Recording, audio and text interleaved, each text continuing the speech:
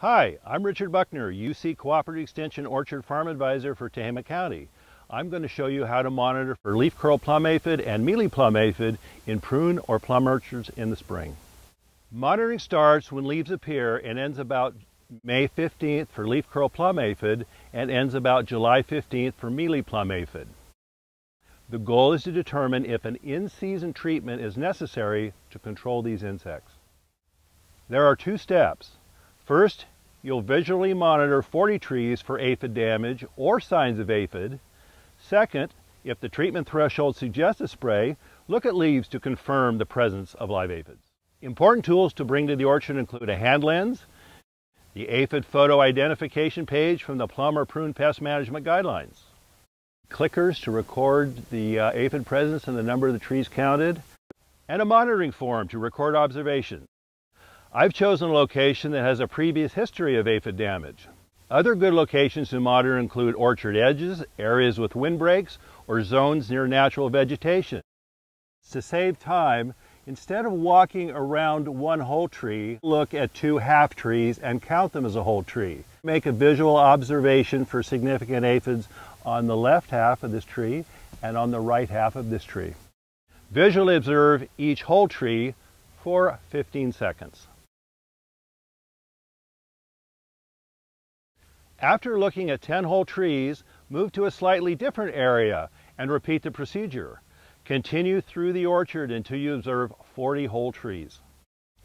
Look at the tree for signs of aphid activity, such as curl leaves, honeydew, sooty mold, and waxy or silvery looking leaves. Insects that feed on aphids or ants that farm aphids can signal the presence of aphids as well. Aphid numbers are considered significant when 10% or more of a whole tree's leaf surface has signs of or damage from aphids.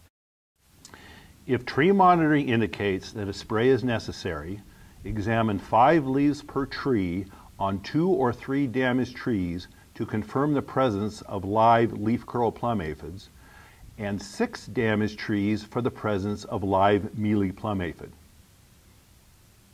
Turn leaves over and look for mealy plum aphids. Wingless adults are pale green with three dark green longitudinal stripes on their backs.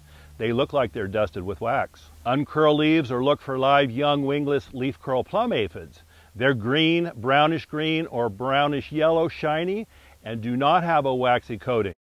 If the aphids are dead, parasitized, or have already left for the summer, a treatment is not necessary. If you find live aphids, record a plus on your monitoring form. A treatment is necessary if monitoring exceeds the treatment thresholds and live aphids are present. If after monitoring 40 trees, you find less than four trees with significant aphid damage, no treatment is needed, and you can resample trees in one week.